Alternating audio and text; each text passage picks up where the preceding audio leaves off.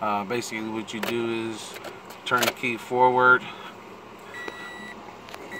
To get act activate the battery and then here you have the display button. Hit the display button until you go to trip A. Back a couple times here. Trip A and you turn the key off. And then what you want to do is hold the display button and turn the key back on. So this is going to take two hands here. Let's see if I can do this. Hold display down. Sorry about that. Hold display button down.